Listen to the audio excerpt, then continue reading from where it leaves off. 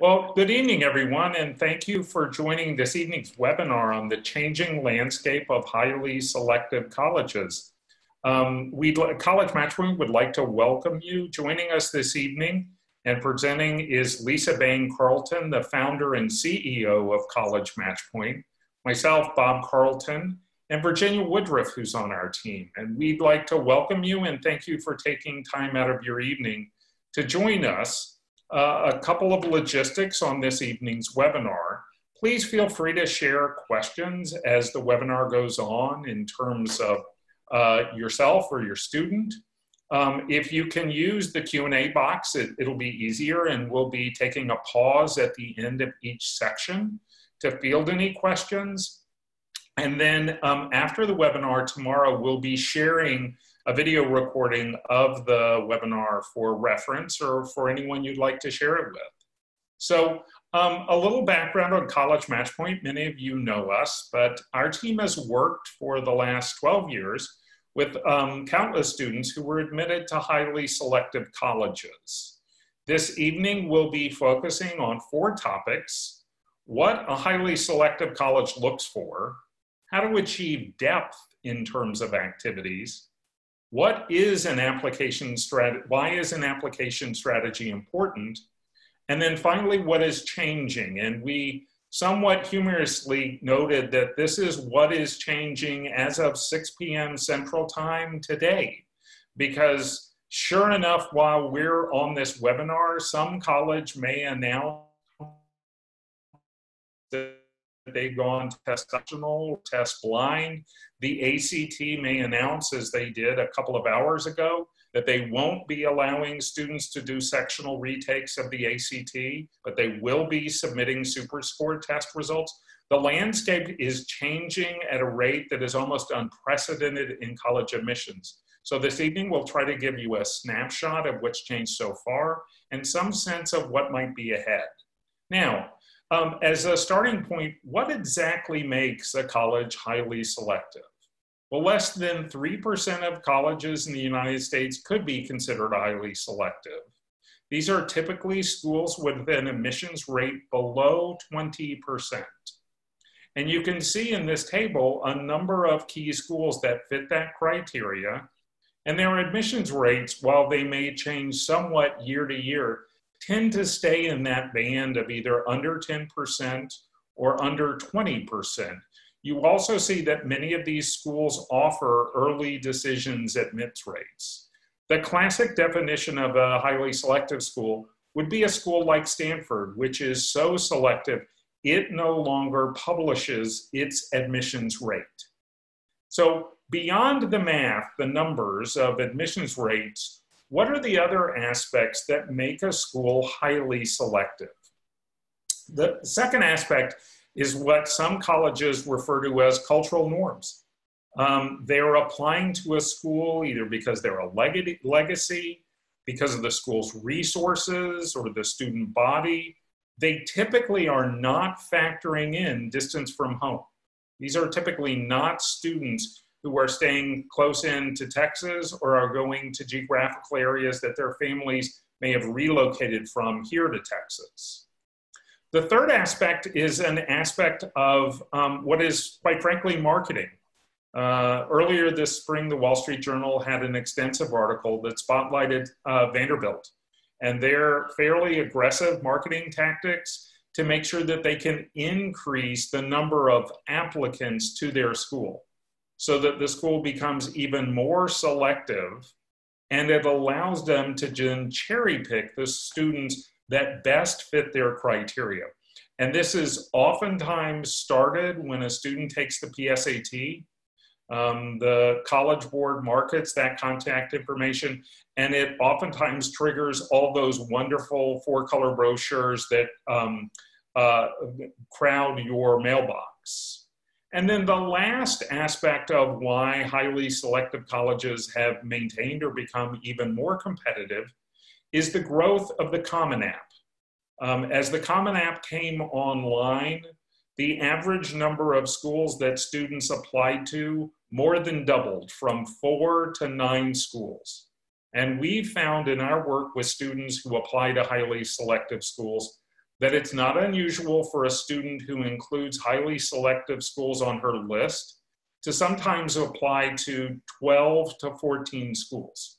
A little later, we'll talk about the implications of that for the application strategy. But again, just as a level set, only 3% of colleges in the United States would classically be referred to as highly selective. Now, Lisa's going to take us through what highly selective colleges look for. Hi, everybody. Thank you again, as Bob said, for joining us. And we're excited to talk about this. So, when we think about what school colleges look for in general, and especially highly selective colleges, we kind of break this down into a number of parts. Obviously, this is for school. So the first most important thing is academics, always. They're going to look at a student's transcript and they're going to look at a student's test scores. And I always say to Bob that our, our graphic designer, really, we should redo this a little bit. The transcript is about actually about twice as important as the test scores. And we'll talk about COVID 19 and impact there. Now, when I say transcript, there's a few things I want you to think about. Obviously, the first thing is just what are the grades on the transcript? And the reality is that for highly selective school, the majority of those grades need to be A's. Like there can be a B or but a lot it can't be an even number of A's and B's in highly selective schools. It's definitely mostly A's. And then the other thing that they're looking at is what kind of classes did the student take? How much did the student challenge himself?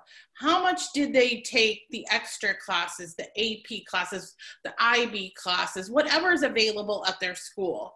Now, if a school doesn't have that, what other ways did a student work to build rigor into their into their coursework?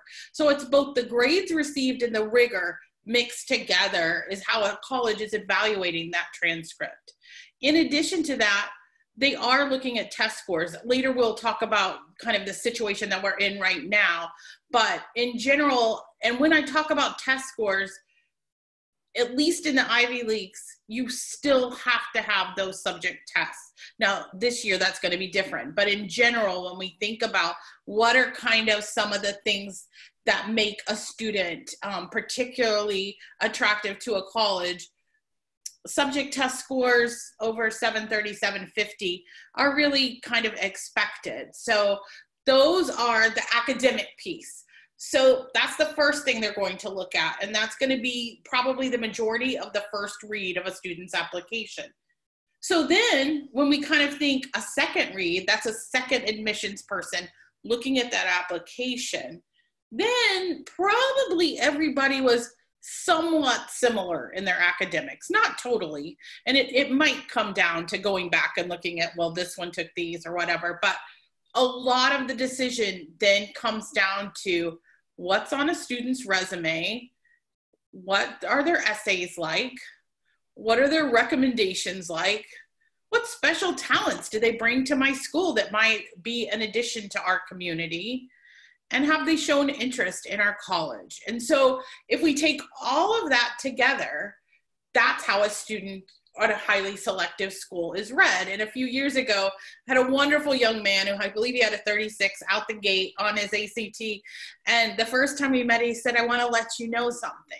And I said, sure. And he said, I want to let you know that I'm going to have the colleges look at me just on my test scores and not my transcript. And I was like, well, that would be awesome if we could do that. But actually, they're taking the whole thing into account. So when we're looking at it, and this is i think when we when you look at how selective these schools are and of course one of the things bob and i want to say is there's a lot of other fantastic colleges out there even though we're talking about highly selective the the amount that a student's got to be able to check off these boxes is not insignificant in a highly selective school what are the hurdles that a student has to have? Most students who are accepted into highly selective schools are going to be in the top 10% of their class. Now, if you guys were sitting in a room, someone would raise their hand and say, but my school doesn't rank, so they won't know. Schools don't rank, but high schools provide profiles, and those profiles show will give the college a pretty good indicator of where students with different GPAs are falling in terms of ranking. So it's pretty easy for an admissions rep who's trained to have a pretty good idea of where the student is falling. But in general, top 10% is, is, is what you're kind of eyeing there um, for the most selective schools. Sometimes, you know, that can give or take you know, many of the students who apply to these schools are going to be the valedictorian and salutatorian. What we don't have on here is many valedictorians and salutatorians won't get accepted too. Um, and the average test scores are going to be quite high. In the SATs, they're going to be well into the 1500s. In the um, ACT, they're usually going to be 34 or above. So that just gives you a little frame of really the numbers of what we're talking about here because I think it's important to know that because what Bob and I see is there also our students we're in a culture where everyone who has good grades sometimes wants to apply to these schools. It's helpful to kind of understand kind of the gates also and to understand the parameters. Now in addition i think i've already kind of hit this slide on terms of the second read the majority of the um, one thing i'll say about rigorous coursework. So some high schools don't offer a lot of rigorous coursework and so that can be difficult for a student one thing that we're seeing more and more students do who can't get the rigor in their high school is taking college classes. And so I think that if your student is really having trouble getting rigor in their high school or they're so far ahead, like sometimes we have students who are two years ahead in math, three years ahead in math, and so it's really hard to find a course then one of the things you can do is begin to take some additional coursework, even at a community college, is definitely going to help the student. Lisa, we've had a couple of questions come up on the sure. academic side, and I wonder if you can tackle them. The first question that has come up is um, the age-old question about language, language requirements and calculus. Could you speak to those two items? Absolutely. I would say most students who are going to apply to highly selective schools should take calculus. There, I would give a few exceptions. Um, if a student is, say, really um, heavy in the humanities, and so they're taking additional languages and additional humanities, they could get by not not taking calculus, but I think it's a pretty big expectation. So I, I, think that's a little dicey. I think the language requirement is you absolutely need three and you may need four depending on what you want to study. Um, four is kind of the, you know, what you're going for here is doing the highest level of study that you can. Now, where I see the language not being, not, it's not particularly important to go over three, is for those STEM students who are really adding on additional math classes, additional science classes, if your school offers computer science, engineering, so that they're really taking their major related things. I have not seen that hurt students. So one of the things you have to ask yourself when you're making academic decisions, because all the bright kids that are applying to these colleges have a bazillion things they want to take always a trade-off right? And so i think what you have to say is does this make sense for what i want to study? Now if a student is going to a more liberal arts curriculum school they need both of those things. They need four years of a language and they need to go through calculus. And calculus ab for the non um, the non stem student is absolutely fine Lisa, a couple of um, parents noted that their student attends a school that doesn't offer either AP courses or IB courses. And they wondered, will that put their student at a disadvantage? No, absolutely not. Every admissions person is going to tell you that they read your file, the student's file, in context to your school. So they're only looking for you to do what was available to you, okay? So absolutely not. And I have actually seen that play out in a number of times. But I would say to be competitive, at a minimum, the student, most high schools will offer some sort of dual credit with the community college option.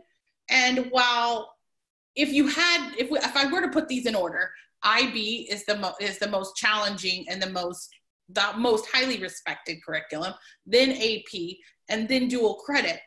But if you don't have the option of IB or AP, then I think trying dual credit or taking some community college courses is going to be a really good way to show that you went for additional rigor. Uh, and then the last question uh, one parent noted that she's very familiar with holistic review but she's unfamiliar with this idea of a second read. A, is that unique to the highly selective schools? And B, is there a difference in the type of person that's doing a second read?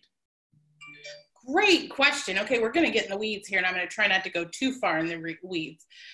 I'm giving a general overview that most colleges have some checks and balances in their admissions reading. And so there's the first person who reads it, which traditionally has been the regional rep, although that's changed. And then there's usually one other person. Every college has their own system for this. There's now group reads, there's all these different ways to read applications, but it would be very I, I, can't think of a place where there only one person would see the student's application that that is unusual. And then sometimes if they get to that second one and they can't decide like the two people don't agree then um, that goes to what we call committee okay? And that's the admissions committee that you like if you ever watch admissions movies or whatever you see them around the mahogany table. That's that group. Every application doesn't go before the committee. Um, or it goes before the committee as a stamp, but if the decision's already been made. But if it's on the line, it will go before the committee. But what I would say is you guys don't need to worry too much about that because um, the what you're trying to present is the same no matter how they read it, I guess is what I'm saying. Yeah. Uh, and then the last question on academics, I know it's an area that a number of questions have come up. Uh, one of the other parents noted that they are their student is at a high school that has both honors and high honors. And the question they have is they've been told students have to be on high honors. Is that true? Well, I don't know your school, so so it's a little bit hard for me to say. Um, the student, I mean, you can kind of calculate how many students are in high honors and how large is that graduating class?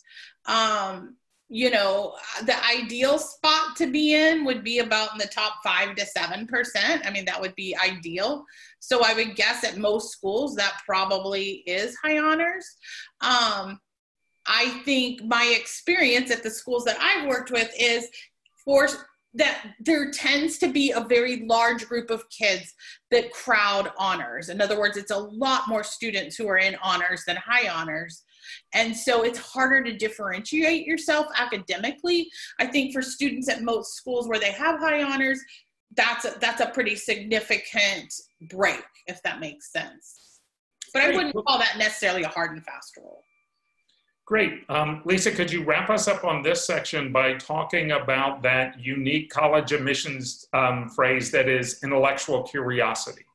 Sure. So I think if we were to say the one kind of unifying theme that rep is a student who is going to be you know a good candidate for a, a, highly selective school it's a student who on their own seeks out intellectual curiosity. So i don't believe and I, I think bob and i would agree on this that if, if if someone comes to meet with us and they're like oh can you help my student become you know a great candidate for x college no, not unless your student already has some of these qualities, right? Like they have to come to the table with some of this. And the reason that's so important is otherwise that may not actually be the right college for them. So that's not a that's not a negative on them. So when we say intellectual curiosity it's that student that and it doesn't all have to be the same thing. If a stem student's intellectual curiosity is going to learn look much different than a history student or an international relations student. But that in certain areas they have that today I was just working with a student before I started this, and she just lit up. I just love to learn, and you could just see it all over everything she does. You know, that has to kind of be the starting point. It's you can't. It's hard to jumpstart that in a student. That they kind of come that way. Great. Before we jump to the next section on what depth means to a college, I'll ask our colleague Virginia Woodruff. Virginia, are there any general questions that have come up uh, that Lisa hasn't covered in this section.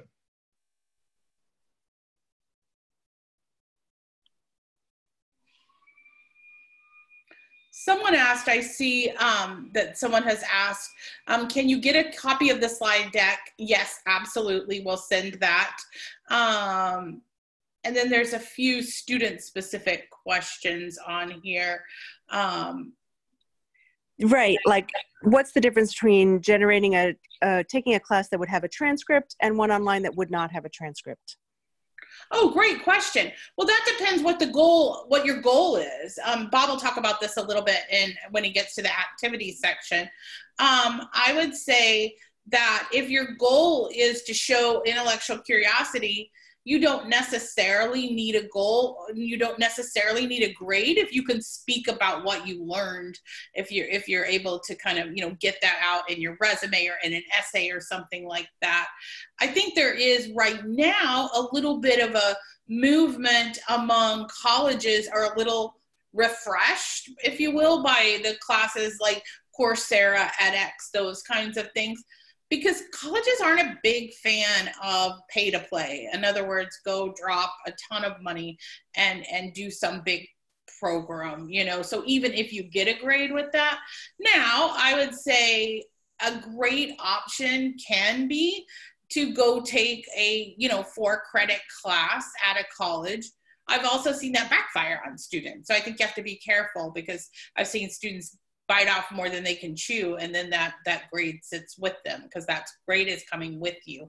Um, so i kind of think that really depends on what the goal is of that coursework. I would say for the student who maybe is homeschooled or doesn't have a lot of rigor in their own high school going and taking a course with a grade might be an advantage for them to prove that they can do the rigor Great. That second question was about subject tests and their importance uh, now with COVID 19 going on.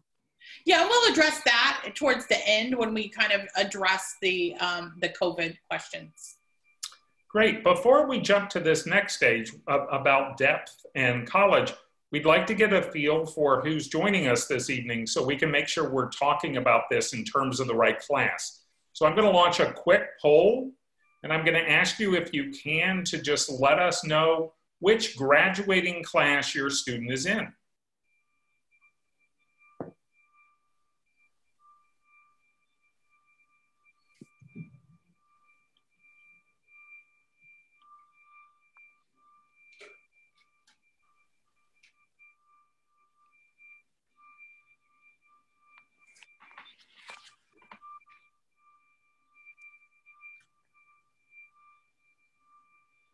Great. So we have a really good feel for this. I think it's fair to say that um, more than half of the folks who are joining us this evening have students that are rising seniors. So we're going to talk a little bit about this in terms of where the student is currently, and then the next three to four months in terms of how their story will extend.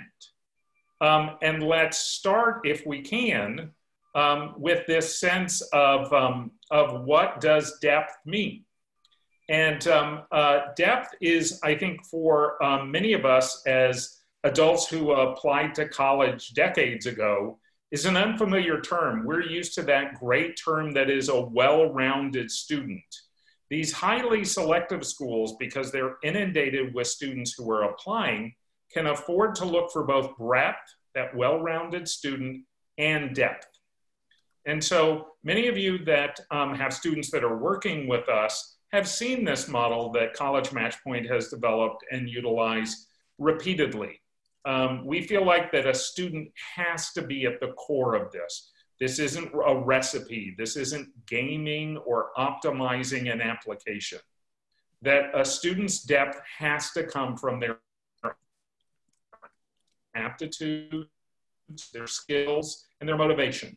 For those of you that have freshmen and sophomores, or rising freshmen or sophomores, those are great years to engage on interest and involvement. For a student to reflect on what areas of interest, what skills do they have, and where do they want to experiment and begin to get involved. But because so many of you on this um, webinar have students who are rising seniors, the two words to watch there are initiative and impact. The student stepping into an area that they're involved in and taking initiative, and then a student looking at the communities that she might be involved in and looking at the lasting impact she has in those communities. And in terms of that, we really want to draw a contrast here between involvement, which is super important. It is a great foundation throughout high school. Um, it's so important for a student to be involved in things that connect to their interest. But we do really want to draw attention just as stark as the contrast is that Lisa drew on the academics, the contrast is stark in terms of students who've shown initiative on their resume, in their essays, on their activity summaries. They're showing that they took an idea and they made it a reality. And then when you talk to admissions directors about what made the difference between students who were all truly extraordinary, they come back to this idea of impact. What is different because of the students' ideas, their actions, and their questions? Now, what we thought we'd do is give you some um, very specific examples. These are students that we've worked with over the last 12 years that we've sort of anonymized some of the areas but really trying to understand. So you talk about this idea of initiative. What does it mean? And you can see that this really spans academic areas. You might have a student who's interested in history travel and they've created a vlog that has thousands of followers. You might have a student who has um, developed a college level course, not just taken it, but developed a college level course as an independent project. We would make one comment here that some of the um, very competitive schools increasingly are saying how impressed they are when a student does an independent project or a capstone project. Now, if that's initiative, let's talk for a minute about what we mean by impact. That student who created the vlog, that student may have then ended up engaging with a TV producer who then hired the student to work on a new TV series. That student who created a brand new event for the nonprofit that they're a part of may have raised over $100,000, and that uh, fundraiser may be the signature annual event for the program. Now, I know when I look at this as someone who graduated from high school decades ago, it really amazes me that there are students that are this deeply engaged and showing this kind of impact. But it is to say that the highly selective colleges, because they have so many students that have passed that first read, are keenly interested in the student's story that's told and the examples of specific impact and initiative that the student shows. They're always impressed with involvement. But at the end of the day, if they're able to understand a student's story in terms of the initiative they took and in terms of the impact they had, no matter the community or the school they're involved in, these highly selective colleges are particularly focused on that because, frankly, they can afford to, given the caliber and volume of students who apply to their school. Um, let, we want to always give tangible examples. Um, many students that we work with have applied to MIT, your classic highly selective college. MIT four years ago codified this idea of initiative and impact by asking students to submit and then giving them an option to submit what they call a maker portfolio. They want to see not just the student's outcome, not just the output of that project or that independent project, but they really want to get a sense of how the student learned. They want to see the sketches and at MIT Now affords um, students the opportunity to upload images and videos about the project in process, not just the end result, but the various stages that the student went through in developing that app, in creating that device, in really showing academic initiative, the intellectual curiosity that Lisa showed, and ultimately the impact that an MIT expects when they really are down to a committee read and trying to decide among six truly extraordinary candidates.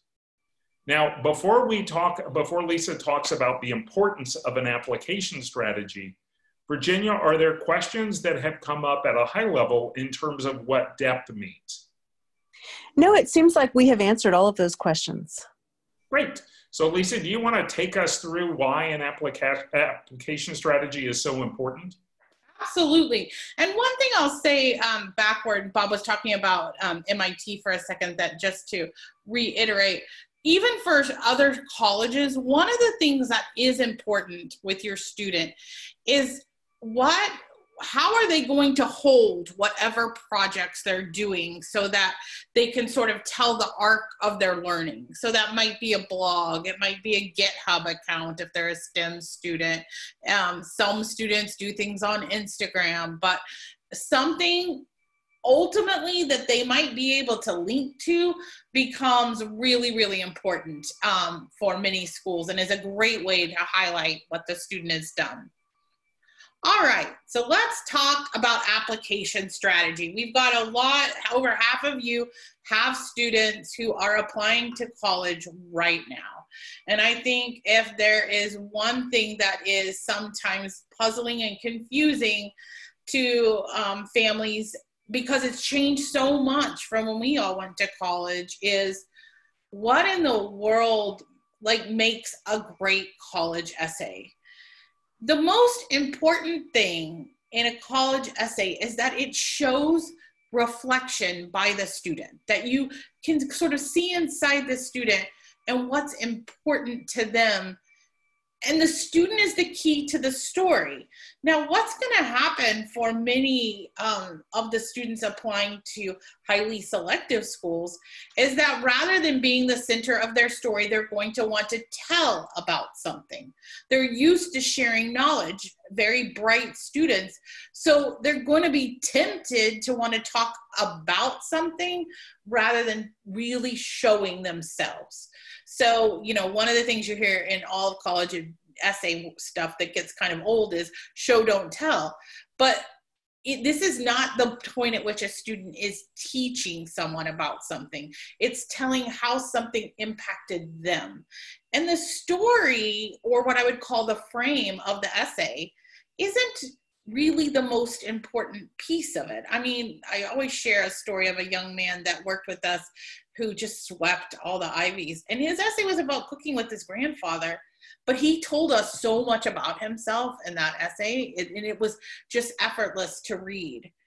So, reflection, and many of these kids are not particularly used to having to reflect on themselves. And so, one of the things that we have to work with students on is helping them develop maybe some new muscle that they haven't. Um, the other thing that's really changed and keeps changing every year, I'm kind of shocked, is the amount of writing that a student who's applying to highly selective college is going to do. Um, all students are going to have, you know, it's like, wait, I thought I just have one college essay and I send it to everybody that's the starting point. That's the piece of writing that I'm talking about that needs to be really reflective. It would almost be like I'm going to learn about you if I was going to sit down and talk to you and you were going to tell me a story about your life and how important it was to you. Then there's many other essays. So an, an average student applying to highly selective colleges is going to write about 14 essays. They're not all the same length, but that's a lot of writing. There are ways to kind of reuse that writings and retool it, um, but it's not an insignificant amount of writing. And I think as adults in the student's life, one of the important things a lot of times we do these sessions we'll take a poll how many we just had one not too long ago we took a poll on the parents how many of how many essays did they write? And the average was three. So having a little bit of empathy with the students about how how challenging this can be i think it is really important. Um, the essay needs to be something that only this student could write. It's so specific and it's so personal that there's no way anyone else could write it. That can be challenging for some students. They want to say, it was the greatest day ever. It was the most fun I ever had, you know, like generic kind of um, cliche. And so honing in to take risks, to show vulnerability. And I think a, a kind of, um, Achilles heel, if you will. There's a couple of Achilles heels for the the you know the exceptional student in the writing process. One is that I want to write what I think you want to hear, so it sounds kind of stiff and not terribly personal. And the other is I'm really smart and I'm going to let you know how smart I am, but I don't actually get to know the student. So this is personal. Um, and then the additional essays that the students write are typically um, about um, like why a certain school, about um, you know all sorts of things. What why do you want to study? What you want to study? Um, what kind of community member are you? And I think we're going to see more of that. I think colleges right now. I think we were already building up to this, but I think we're at a moment where colleges want to know that they're bringing in students who are resilient, flexible, kind. So I think that's those things are also going to be very important to show in some of the supplemental essays. One other comment on the second Achilles heel that Lisa mentioned is what we sometimes call the curse of the creative. That student who is an extraordinarily gifted creative writer might even be a student who's a debater in some ways they have to unlearn all those flourishes, all those aspects that made them such a talented creator, because that can get in the way of them telling a story that is specific or personal. And a second derivation of that curse of the creative is when a parent is a creative writer or a marketing communications person, and they look at these essays as a marketing tool not as a personal essay that oftentimes can take risk and show vulnerability. All right, so we're talking about all this activity, and I think that it's always important for you to kind of know ahead of time like what's this actually going to look like on an application so our slide shows you the common application and how students are list these activities the reason we like to show this is look how small this is. They're going to do all this great stuff and they get 10 of these slots to tell what they were and a tiny little amount about that activity.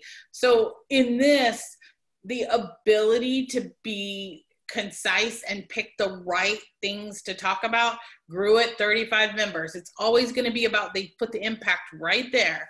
I found it and I grew it. So how one addresses these activities does become important. And oftentimes we have a big old whiteboard on the board with the student because obviously a lot of times we have to knock things off which is always a little bit disappointing um, and pick those most important things. And on the common application if there's any students on here this is something that students often miss. Those are supposed to be in order of importance to you. So that that is important that your the college is reading as you know foreign language is the number one most important thing to this student who's the president of the classics club. Now how else can we get some more information in here? That becomes the question right? Because colleges say hey we really want everything in the application. A part of the puzzle that we often use, you've got to use it carefully or, or, or, it can be a mistake. There is an additional section on the application called additional information, which is an additional 650 words, which you can put anything in there. Now, I think this is a fantastic place to highlight any research that the student has done. If it's like Bob said, like a self-generated project or an independent work.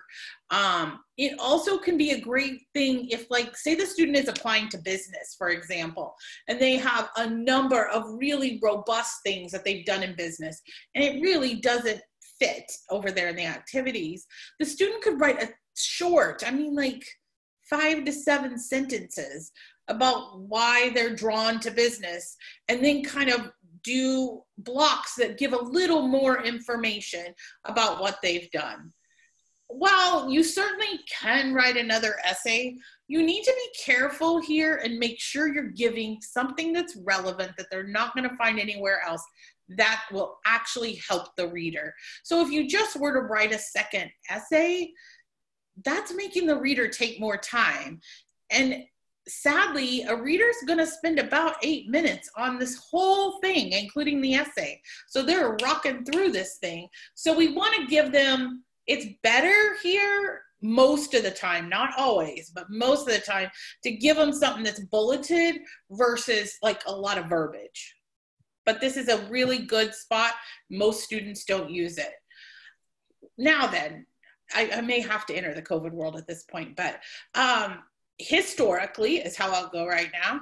Um, there are have been a number of different ways to apply to highly selective schools. Early decision, which is binding, and can increase admit rates at many schools by 2x or 3x, so a lot. Some schools, not as much, um, but in general, can give you kind of a nice bump. The more selective you get, the less bump you're going to get. Okay. So when we get up into the Ivies, we're not going to see quite as big a bumps as we're going to see. What we call the drool schools, those schools like Northwestern, Vanderbilt, those schools right under there, um, Wash U, those schools, you're going to see Tufts, you're going to see a pretty big bump there. Some of them do early decision, which is binding. Some of them do restricted early action, which is means that you can't apply to any other private schools in an early round. So no other in early action, the difference with early action, restricted early action, is that um, it is not binding. Okay, so you can still apply typically although you have to read the rules of the school you're applying to, to your state college. So, for example, for people in Texas, you could go on and apply to UT in August and still apply to a restricted early action school. I think we have pretty much eliminated any just straight out early actions in the highly selective schools. I do anticipate a lot of this changing this year a little bit, and we'll talk about that in a few minutes. So you've got your two early rounds. Those are typically due November 1st. And then you have your regular decision, which is I'm going to apply to all these schools, see who lets me in, and then decide where I'm going to go. And those are typically due January 1st. Lisa, we've had a quick question before we wrap up this section with Virginia's question on this slide. And that is the parent saying, well, I've heard the only way to get a highly selective uh, admit is a student going early decision, that no one ever gets into a highly selective school through regular decision. That is that is the word on the street, and and I, and I mean we do have that conversation with students about you know how much it can bump up. But I will tell you, you guys, that many of our early kids uh, I mean, our, our highly selective students, you know, every year I have two or three where at the end of the early round, like maybe they did apply early decision and they didn't get in there, but then they turn around and do really amazing with like a ton of highly selective options at regular decision. So, you know, when we get in these percentages, it's really hard to know who's going to read what. And I think there is this, it's such a qualified applicant pool at early decision. And it also is athletes and it also is legacies that the 2x and 3x is inflated it's always a little hard to know how inflated right um, early decision is great for the student that knows that is their dream school they want to go there and they're actually admissible in other words they really do have the the um, the background to potentially be be considered. I think early decision is a really bad idea for what we call an extreme reach. In other words, I'm just throwing the football down the yard, down the lane, even though my transcript doesn't read like this and my test scores. That's not a good idea. Kids don't feel good about that afterwards. Um, so I, I think you want to use early decision for schools that the student actually really loves and can imagine themselves at, and that they I don't mean that they're going to get in for sure, but I mean that they are they fall within the range of that school. Great. Uh, one last um, question that always comes up, Lisa, and that is, what does optional mean? Well, I would say in most cases, optional means do it. Like there are very few things. Kids always say, "Oh yeah, I don't want to write that that essay because it actually says I don't have to. It's optional." the college you want to get accepted by this college so nothing is optional now um, i would say this year we're going to have an essay about covid that i believe is truly optional. I think if the student's family has actually been impacted or the student thinks they have something significant to say about this time and their impact and maybe a good lens to look through that is you know was it unique you know um, to them? Because obviously all of us have everyone has has had difficult times during covid um, then i think a student would answer that but i don't that would be the one time where i would say that optional is actually truly optional. Virginia are there any questions that are broad that have come up that we haven't addressed in this section in terms of the importance of an application strategy? No we don't have any broad questions at this time. Great so we thought we'd wrap up this evening with disruptions, disruptions, disruptions. And it really is the tale of two application seasons for the highly selective schools. Pre COVID, highly selective schools continued to remain extremely competitive. There were minor changes in a school, maybe going up a point or down a point, but overall, the median admit rate across these 3% of schools really did not change. One thing that did change at a number of schools is that the number of early decision applications declined. And what we're beginning to see at those schools is a reconsideration of early decision in their strategy and then the last piece, and it's the reason why we asked that poll question, is that we really saw over and over again that the students who were fully engaged in high school from freshman year through senior year, both in the classroom and out of the classroom, are the students who really had success in their applications. And that conversely, those students that tried to shoehorn it all into their junior year, with activity after activity, with all AP courses and 20 different subject tests, it really wasn't enough because it didn't show the spread across the three and a half years of high school. Now, we could spend an entire seven hour webinar, and no one would want to survive that, on the impact of COVID for these highly selective schools. Now, for the class of 2020, those students who just graduated from high school, they experienced a once in a generation, most likely waitlist impact. There were students who massively saw waitlist offers. They saw schools contact them and ask them, Can you make a decision? I've taken you off my wait list, and you have 28, uh, 24 or 48 hours. So while the admissions rates remained pretty uh, consistent, the utilization of waitlist post COVID, I mean, post the quarantine, was substantial and far reaching. And it has not stopped. We continue to hear from students who have been offered coming off the wait list at highly selective colleges. We've also seen, because of COVID, a shift to what the admissions lead at the University of Texas at Austin has characterized as retail admissions. Even the most highly selective schools embracing online as an opportunity to both present and market their school, but also offering deep one on one engagement opportunities. We've seen Georgetown, for instance, offer students the opportunity to talk one on one with faculty members and with students at their school. And we anticipate this shift to be a constant shift going forward. Now, for the students who are rising seniors, the class of 2021, the most significant impact of COVID that we've seen is test optional. Now, we've heard stories over the last six uh, few weeks of students so frustrated trying to find a test slot for the ACT or the SAT. And as a result, many of the highly selective colleges have switched to test optional. Just this morning, the last Ivy League college, Princeton, switched to test optional. So all the Ivy Leagues and Stanford are now test optional.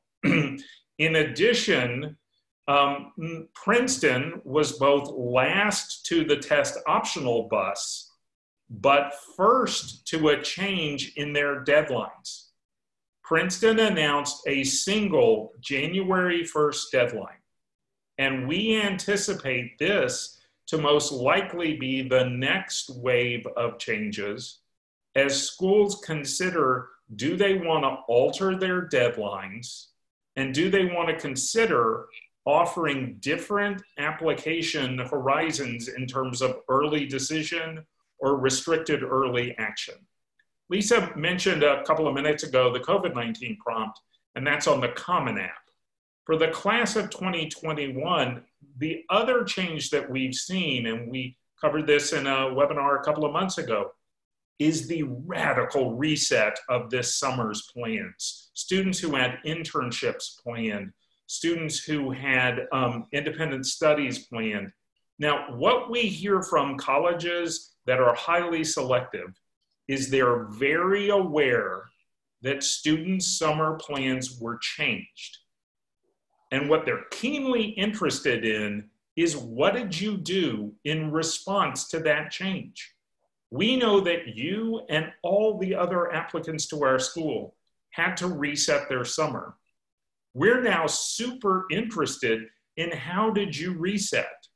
And we work with countless students who spent April and May identifying what were the activities that they wanted to be engaged in that both connected to their aptitudes and motivations, but also allowed them to show initiative and impact this summer.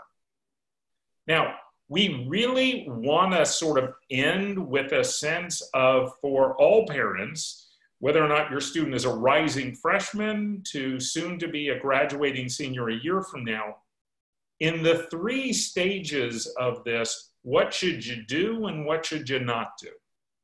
For those rising freshmen and sophomore where the focus is high school engagement, make sure you're working from a plan that focuses on breadth and depth.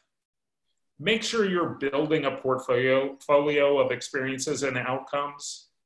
When you choose classes, choose them for rigor. And one intangible, and Lisa talked about this in the essays, in the essay discussion, it is crucial that a student develop self-reflection muscles. We see students straining in that summer between junior and senior year when they're writing essays to magically create their own self-reflection muscles, and it's brutal. Now, a couple of don'ts as it relates to high school engagement. Do not think there is one recipe. We hear over and over again from parents and students, well, I have a friend that did this, then did this, then did this, and they got into Princeton. And our answer is always that's their story. What's yours? And then finally, as we said before, don't wait until your junior year. For rising uh, juniors or for seniors still thinking about their college list, start with a criteria, not a shopping list. Don't just come in and say, well, here are the 36 highly selective schools and I'm just trying to figure out which of these 36 should I apply to? I think I want three. And we oftentimes find that students who are applying to highly selective schools sometimes struggle with owning the rest of their list, the possibles and the matches. And that speaks to a don't, and that is don't build a list that is all reaches. Don't build a list that is all extreme reaches. Now, on the essay and application, this really recaps a lot of what Lisa has commented on before. We do want to raise one piece of gentle counsel to parents on this call. It doesn't take a village to write college admissions essays, nor does it take a family. It takes a student. And we find the temptation to crowdsource an essay with not only a mother or a father or a partner or a guardian, but aunts and uncles all chiming in on that essay can really lessen the student's voice. And to be clear, that impact is something that admissions readers can note immediately. So we just want to stress how crucial it is, particularly for students applying to highly selective schools, that the voice be their own and that the process allows them to dive deep into telling that story and it not to be a family activity or to be an activity that broadly includes everyone who's ever known the student. Now, well, before we wrap up, Virginia, are there any questions that have come up that we haven't been able to address this evening? Excuse me, Bob. I have one because the, uh, someone had a question that I actually had to check myself and make sure I had the right information. Um, so someone asked what percentage of students at highly selective schools are first generation. I had to look it up. It's about 16% if I kind of average them together there. And I just wanted to look that up for um, to make that clear. There's also one point I want to make about test optional because I think there is a lot of confusion about test optional. Test optional is not test blind. Test blind would mean we just aren't going to look at scores at all. If you guys have really been following your college nerd news, you'll know that the University of California system is headed towards test blind, where they're not looking at going to look at ACTs and SATs in, I think it's the class of 2025. Test optional means you can send a score or you cannot send a score. For students whose scores represent them well, they should still send their scores. For students who are great test takers, if they get the opportunity to take subject tests, they should take them. And if the scores are good, they should send them. Now, the student who probably benefits the most from test optional is I'm a really good student, I have a really great resume, and I am not a great test taker. Well, this class of 2021, I think there is an opportunity there for the student not to submit scores. And one question that's been coming to me a lot from my clients, so I'm just going to assume that some of you probably have it, is just because you took the test, you don't have to send the test. You optional means optional. You can send it or you cannot send it. So I just wanted to clarify that because I think testing, as Bob said, if there's one part of this that has really just been super difficult for this class, that is probably it. The other thing I just wanted to mention is we do have opportunities on our website um, for summer if there's people who are still looking for summer opportunities. Um, and I think there are a couple more questions, aren't there, Virginia? Yeah, there was one more question, which was about for this class of 2021. Um, is it going to be more competitive? Are they competing with students who have taken a gap year this year? Gosh, that is the $50 million question, and I wish I could answer it. Here's my personal thinking, which, and, and a lot of others in the admissions world, my guess is it's not going to hurt them. We're looking at a really large percentage. You know, most colleges have got about a 15% international population, which is likely not to be joining campus likely for you know a couple of cycles so probably everything kind of evens out. I also think that we are seeing some retraction in terms around the highly selectives in terms of people reconsidering their state colleges because of the financial you know climate that we're in as a country so my guess is at the end of the day it kind of evens out we're just going to have to see, I, which I know is like the ultimate COVID answer. But um, my general gut is that's probably not going to be a huge issue. But I could be wrong on that. Um, I see another question about um, does test optional hurt kids with high test scores? No, I think that's never been a great. It's never been. I mean, if you have a, high test score and you already have it on the books, I think it's a way maybe to differentiate yourself a little bit. I would say if you have, um, if you're outside the middle 50% of that college, you probably should not submit your test score. So uh, we sure appreciate everybody taking time out of their evening. As Lisa mentioned, a large percentage of students that we work with who apply to highly selective schools have University of Texas at Austin as a possible on their list. Uh, we're updating our guide to UT Austin next week. For those of you that have rising ninth or 10th graders and are beginning to look at how would they design their ninth or 10th grade around this idea of engagement, around involvement, initiative, and impact? In early August, we'll be hosting webinars on designing your year for ninth graders and designing your year for 10th graders. We'll share information on both of these in our follow-up email early next week. And that follow-up email will also inc include a recorded version of this webinar. We sure appreciate your time this evening. We hope you and your family stay well. Be sure to wear that mask. And we hope you and your students have a wonderful summer.